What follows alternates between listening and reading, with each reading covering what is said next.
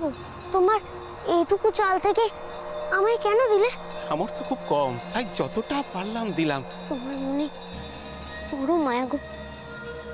আশীর্বাদ করি যা আমাদের দিয়েছ তা শত গুণ হয়ে ফিরে আসো। একই রে বেনি এত গরম না কি করে খাবি? একটু ফু দিয়ে ঠান্ডা করে খা। ও সাধু বাবারা আমাকে তো একটু খেতে দেবে গো? বড় খিদে পেয়েছে।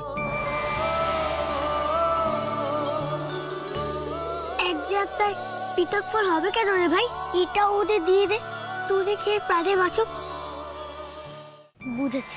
তুমি অভুক্ত।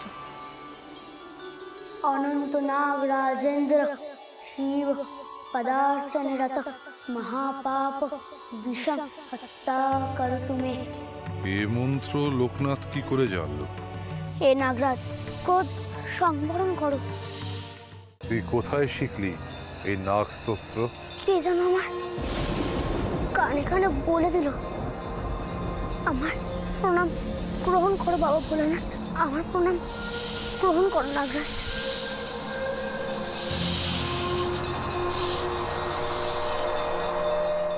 এই জঙ্গলে তো একটা মন্দির আছে। সেখানে আমার বন্ধু বেনি আর গুরুদেব অপেক্ষা করত আমি ফুল নিয়ে গেলে তবে মা কালীর মূর্তির পুজো হবে। দেখো না মা। ওকে যেতে মানা করো নইলে যে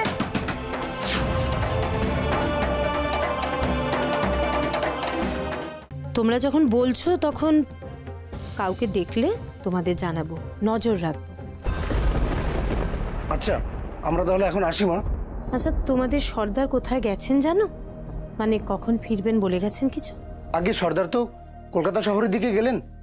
ফিরতে মনে হয় রাত হবে কর্তামা চুরির জিনিস উদ্ধার করতে না পারলে সর্দার যে আমাদের কি করবেন?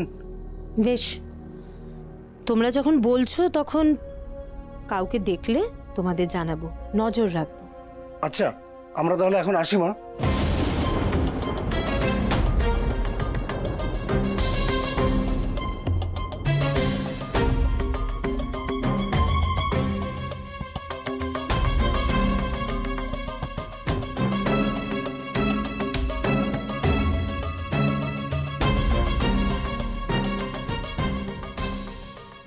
করালি। তোর বাবা ডাকাতি করে ফেরার আগে যা করে ফেলার আমাদের করে ফেলতে হবে, বুঝেছিস? হ্যাঁ মা, আর বেশি সময় নেই। তোমরা ডাকাত?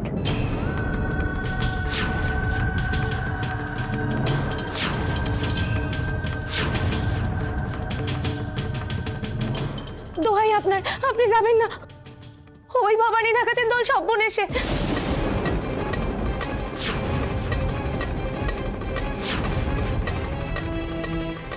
ভবানী ডাকাত রোজ আমাদের প্রজাদের ওপর লুটপাট চালাচ্ছে আর তুমি কি বলতে চাইছো?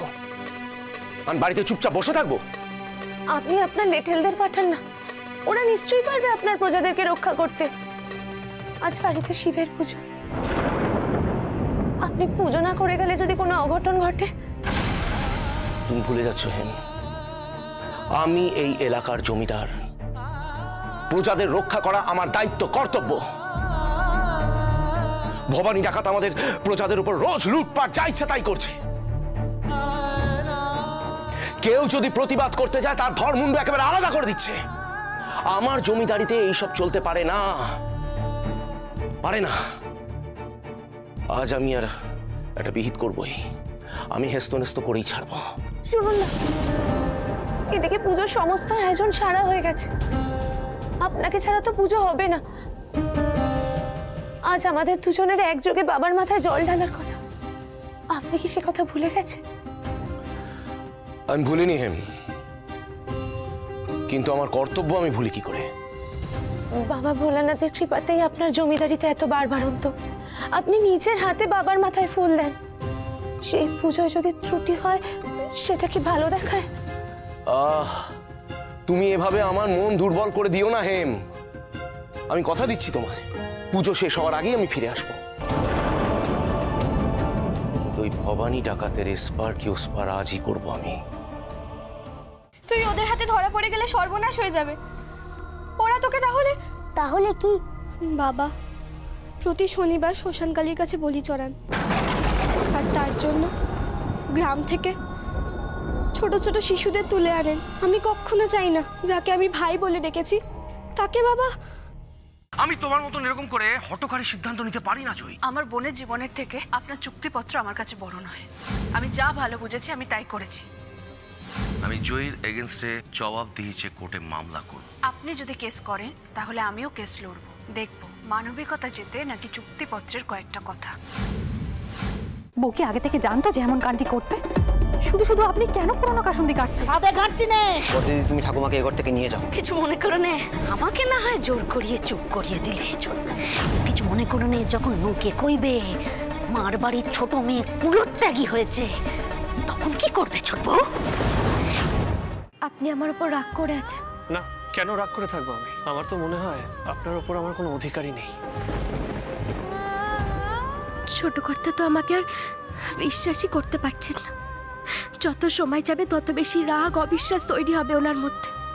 এর থেকে ভালো হবে এখনই আমি সব সত্যি কথাটা বলে দিই।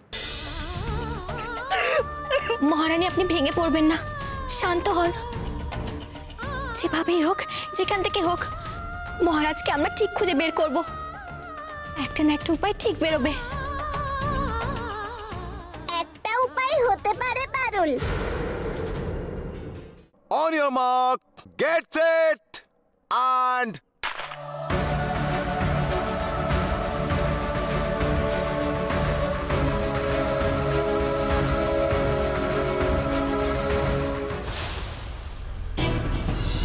এ তো অন্যায়। চাঁদ তো সুবিকে ফেলে দিল।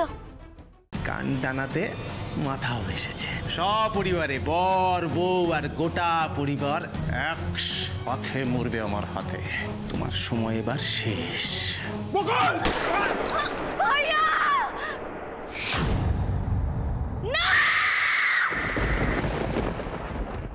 তুমি আমাকে মারলে কেন জজদা আমি তো তোমাকে মালাটা পরাতে চেয়েছি। আর একটাও কথা না। যাও দূর হয়ে যাও আমার চোখের সামনে থেকে। এক্ষুনি দূর হয়ে যাও বলে দিচ্ছি দিদি ভাই নিয়ে যা কিন্তু ওকে। আমার চোখের সামনে থেকে দূর কর কিন্তু না হলেও আমার হাতে আরও মার খাবে। আমি ও মার খেতে খেতে কিন্তু ওর প্রাণ হারাবে আমি বলে দিচ্ছি দূর করো ওকে আমার চোখের সামনে থেকে যাও। বসো। বসবো মানে? বসবে মানে বসবে। এখানে আমার সামনে মাটিতে বসো। জোর খেপেছে। পায়ের কাছে রেখে গিয়ে বসাচ্ছি। হা করো রানু।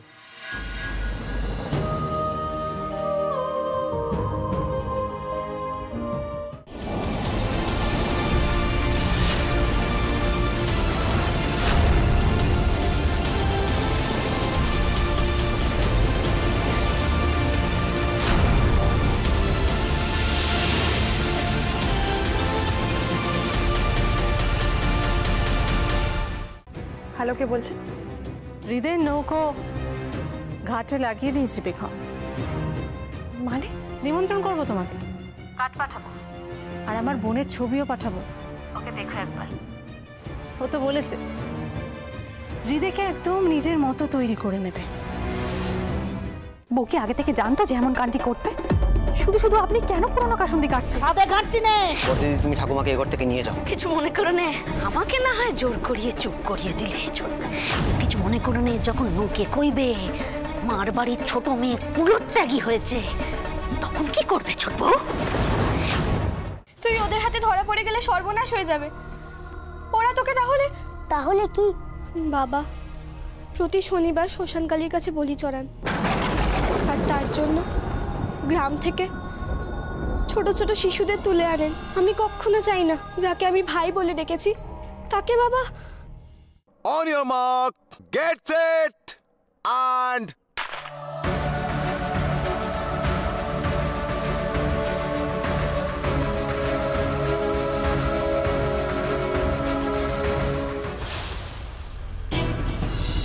এ তো অন্যায়।